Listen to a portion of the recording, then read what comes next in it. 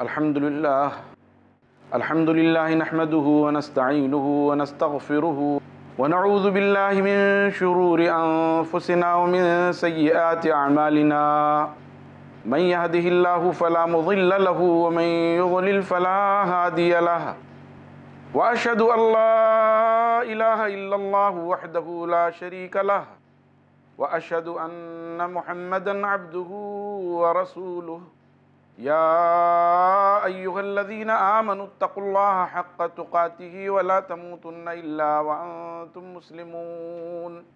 يا أيها الناس اتقوا ربكم الذي خلقكم من نفس واحدة وخلق منها زوجها وبث منهما رجالا كثيرا ونساء واتقوا الله الذي تساءلون به والأرحام. إن الله كان عليكم رقيبا.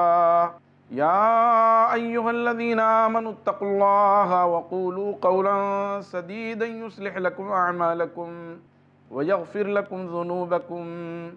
ومن يطع الله ورسوله فقد فاز فوزا عظيما. أما بعد فإن خير الحديث كتاب الله.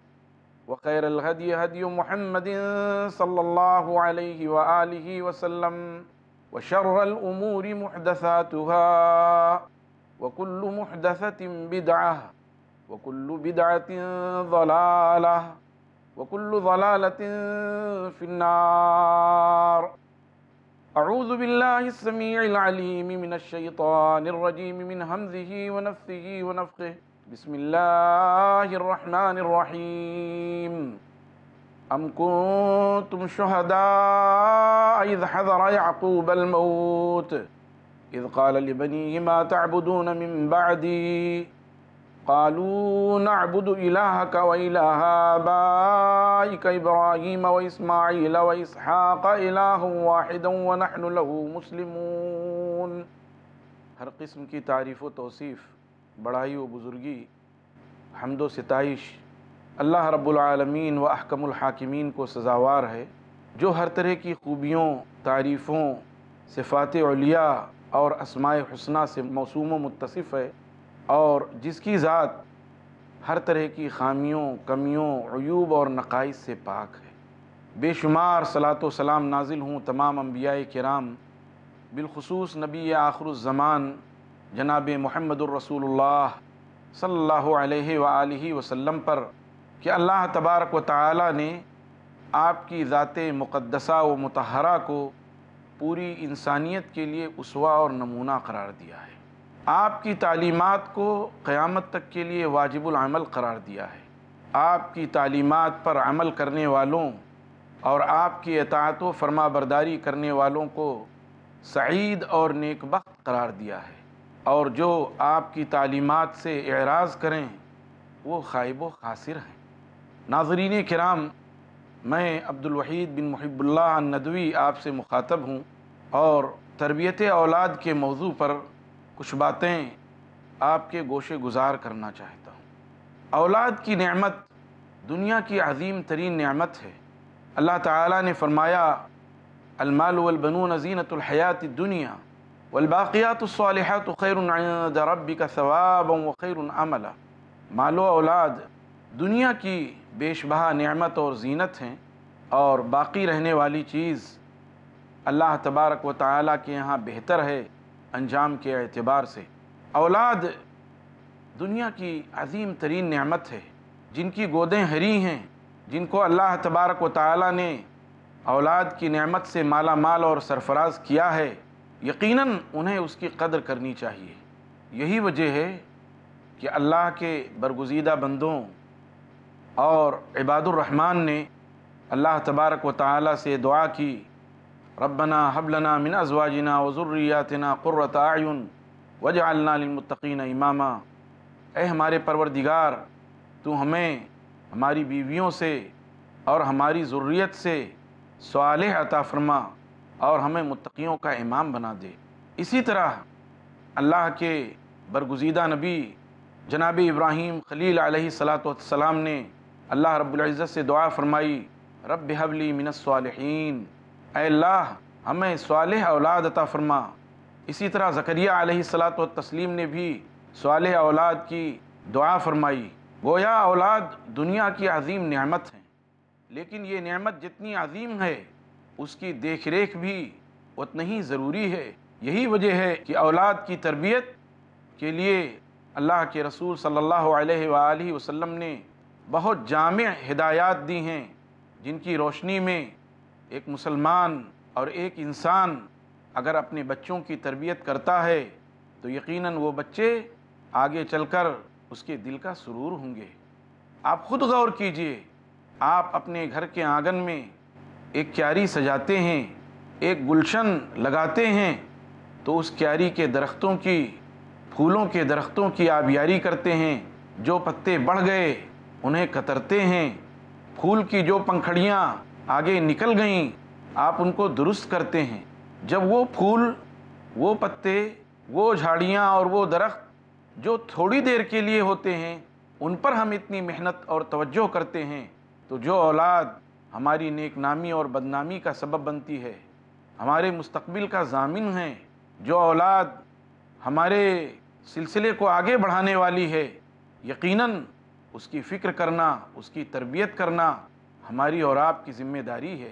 آپ اس کی اہمیت کا اندازہ اس سے لگا سکتے ہیں کہ جب یعقوب علیہ السلاۃ و تسلیم کے نزا کا وقت آیا، یعقوب علیہ السلاۃ والسلام نے اپنے بچوں کو بلایا۔ اس وقت آدمی کو اپنی اولاد سے کتنی محبت ہوتی ہے، وہ دنیا چھوڑ کر جا رہا ہوتا ہے، اپنے عزیزوں سے کیسی شفقت ہوتی ہے۔ اس موقع پر یعقوب علیہ السلاۃ و تسلیم نے اپنے بچوں سے ایک سوال کیا، ما تعبدون من بعدی؟ تم میرے بعد کس کی عبادت کرو گے؟ ظاہر ہے، یہ سوال انہوں نے یوں ہی نہیں کیا، بلکہ ان بچوں کی تربیت پر، ان کی دیکھ ریکھ پر، ان کی نگہداشت پر پوری توجہ صرف کی ہے۔ وہ بچے نبوت کے سائے تلے پلے اور بڑھے ہیں، لیکن اس کے باوجود انہوں نے یہ سوال کیا، بچوں، یہ بتاؤ، تم میرے بعد کس کی عبادت کرو گے؟ ان بچوں نے جواب دیا، ہم آپ کے رب کی اور آپ کے باپ دادا ابراہیم، اسماعیل، اسحاق کے رب کی عبادت کریں گے اور سب کا رب ایک ہی ہے۔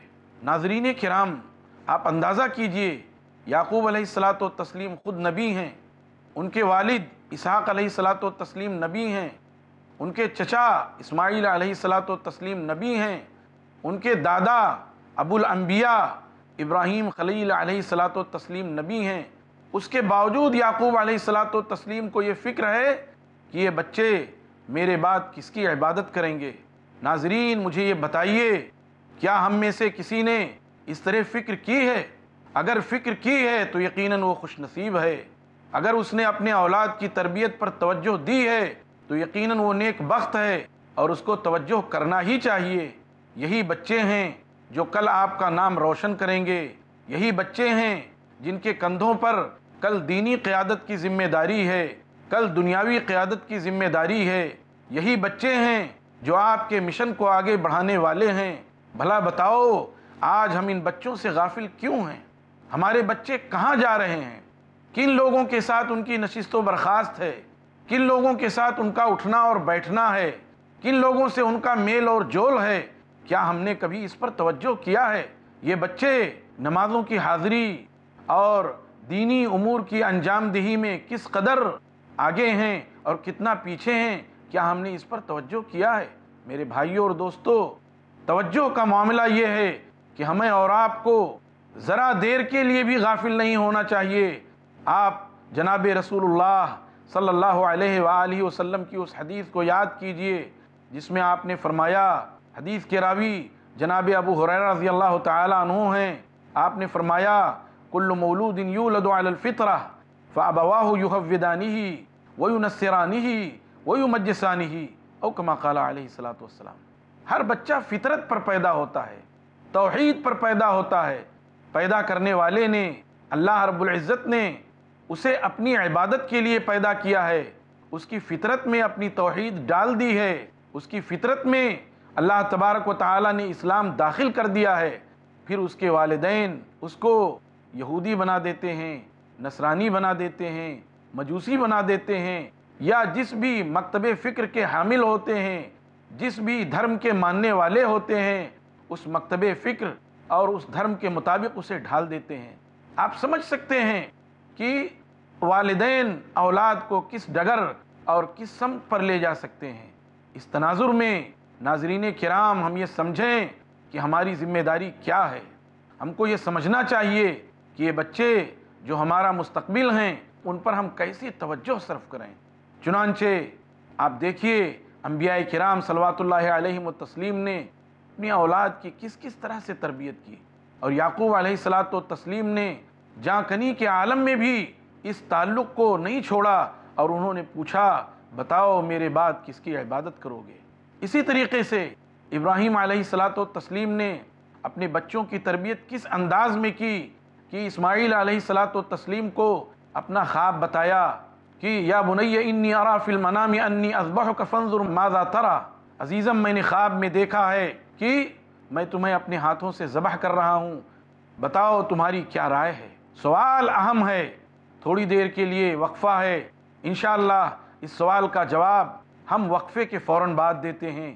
یقیناً اہم سوال ہے اور اس کا جواب بھی بہت ہی نرالا ہے۔ آپ سننے کے لیے تیار رہیں۔ السلام علیکم ورحمۃ اللہ وبرکاتہ۔ ہم اس اہم سوال کا جواب لے کر حاضر ہوئے ہیں، جو ابراہیم علیہ السلاۃ و تسلیم نے اپنے فرزند ارجمند اسماعیل علیہ السلاۃ و تسلیم سے کیا تھا اور پوچھا تھا، میں نے خواب میں دیکھا ہے کہ میں تمہیں اپنے ہاتھ سے ذبح کر رہا ہوں۔ بتاؤ تمہاری کیا رائے ہے؟ سعادت مند فرزند نے جواب دیا، یا بطف علمات عمر ابا جان، آپ کر گزریے اس چیز کو جس کا آپ کو حکم دیا گیا ہے۔ انشاءاللہ آپ مجھے صبر کرنے والوں میں سے پائیں گے۔ ظاہر ہے، یہ جواب وہی دے سکتا ہے جس کی تربیت انتہائی اہم دینی ماحول میں ہوئی ہو۔ کون ہے جسے اپنی جان عزیز نہیں؟ کون ہے جو جینا نہیں چاہتا؟ کون ہے جو زندگی کی رانائیوں سے لطف اندوز ہونا نہیں چاہتا؟ میرے بھائیوں اور دوستو، یہی تعلیم اللہ تبارک و تعالیٰ نے اہل ایمان کو دی ہے اور یہی تعلیم جناب محمد الرسول اللہ صلی اللہ علیہ وآلہ وسلم نے اپنے متبعین کو دی ہے۔ یہی وجہ ہے کہ اللہ کے رسول صلی اللہ علیہ وآلہ وسلم نے ایک موقع پر عمر بن سلمہ رضی اللہ تعالیٰ عنہ سے کہا تھا، جو آپ کی گود میں پل اور بڑھ رہے تھے، جو ام المومنین، ام سلمہ رضی اللہ تعالیٰ عنہ کے صاحبزادے تھے، وہ آپ کے ساتھ دسترخوان پہ بیٹھے ہوئے تھے اور دسترخوان میں ہاتھ ادھر ادھر پھرا رہے تھے۔ دسترخوان میں پلیٹ رکھا ہوا تھا اور اس میں کئی لوگ شریک تھے، کھانا اس میں رکھا ہوا ہے، کئی لوگ شریک تھے۔ وہ کبھی یہاں سے کھاتے، کبھی وہاں سے کھاتے، کبھی وہاں سے کھاتے۔ اللہ کے رسول صلی اللہ علیہ وسلم نے فرمایا، یا غلام، سم اللہ، وکل بیمینک، وکل مما یلیک۔ بیٹے، اللہ کا نام لے کر کھاؤ، دائیں ہاتھ سے کھاؤ، اپنے سامنے سے کھاؤ۔ کتنی اچھی تربیت ہے اس ننے منع بچے کی جو ابھی عمر کی ابتدائی منزل میں ہے۔ آج اس کے ذہن پہ جو بات نقش کر دی گئی ہے، وہ بات ہمیشہ اس کے ذہن پہ نقش رہے گی۔ اسی لیے مسل مشہور ہے، النقش فی الصغر کا نقش علی الحجر۔ بچپنے میں جو بات نقش کر دی گئی، وہ پتھر کی لکیر ہو جاتی ہے۔ اس لیے ناظرین کرام، ہماری اور آپ کی ذمہ داری بنتی ہے کہ اپنے بچوں کی تربیت اسی انداز میں کریں۔ اللہ کے رسول صلی اللہ علیہ وآلہ وسلم نے بچوں کی دینی تربیت، اخلاقی تربیت، اجتماعی تربیت، تعلیمی تربیت کے تعلق سے بہت سے رہنما اصول ہمیں بتائے ہیں۔ ہماری اور آپ کی یہ ذمہ داری بنتی ہے کہ ان اصولوں کو برتیں، اس کے مطابق اپنے بچوں کی تربیت کریں۔ یقیناً آج بھی وہ نسل پیدا ہوگی، آج بھی وہ نسل تیار ہوگی جو اسلام کے عالم کو لے کر آگے بڑھے گی، جو انسانیت کی خدمت کرے گی۔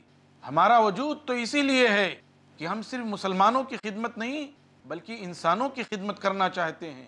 ہم تو ایک ایسی نسل تیار کرنا چاہتے ہیں جو اپنے اور پرائے سب کے لیے نفع بخش ہو، جو اپنے اور پرائے سب کے دکھوں کا مداوع ہو، جو اپنے اور پرائے سب کے غموں کا علاج ہو۔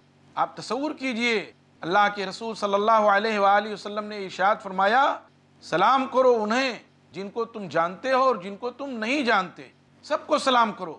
آپ اندازہ کر سکتے ہیں کہ جب کوئی کسی کو سلام کرتا ہے تو اس سے کتنی خوشی نصیب ہوتی ہے، کتنی اپنائیت نصیب ہوتی ہے۔ اور دنیا میں جتنے بھی آداب ہیں ایک دوسرے کو ویلکم کہنے کے، ایک دوسرے کے استقبال کے، آپ دیکھیں گے اس میں سلام کا طریقہ کتنا اچھوتا ہے اور کتنا اچھا ہے کہ ایک آدمی دوسرے سے ملتا ہے اور اس کو سلام کرتا ہے اور کہتا ہے، آپ پر سلامتی ہو اور اللہ کی رحمت ہو اور اس کی برکت ہو۔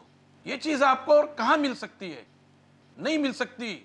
میرے بھائیوں آپ کو چاہیے کہ آپ اس کی قدر و قیمت سمجھو۔ اللہ کے رسول صلی اللہ علیہ وسلم نے یہ تربیت دی کہ سلام کرو اسے جسے تم جانتے ہو اور جسے نہیں جانتے۔ جب ہم اپنے بچوں کو سلام کرنا سکھائیں گے، ان کو اس کا عادی بنائیں گے تو یقیناً وہ آگے چل کر کے اس کے خوگر ہوں گے اور یہی وہ برتیں گے۔ یہی وجہ ہے کہ اللہ کے رسول صلی اللہ علیہ وآلہ وسلم نے ہمیں یہ حکم دیا کہ جب خود سو تو یہ دعا پڑھو، اللہم بی اسمی کا اموت و احیا، اور اپنے بچوں کو بھی سکھاؤ۔ جب بچپنے ہی میں، جبکہ آپ کا بچہ ابھی دو سال کا ہے، ڈھائی سال کا ہے، ابھی اس کی زبان توتلی ہے، ابھی وہ صاف الفاظ ادا بھی نہیں کر سکتا اور اس وقت اگر آپ نے اپنے بچے کو یہ سکھایا، اللہم بی اسمی کا اموت و احیا، تو یقیناً جب وہ بڑا ہوگا تو مستقل یہ دعا پڑھتا رہے گا۔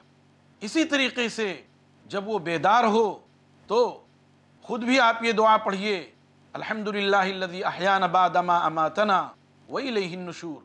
جب آپ خود پڑھیں گے، آپ کے پہلو میں لیٹا ہوا بچہ اسے سنے گا تو یقیناً وہ بھی پڑھے گا۔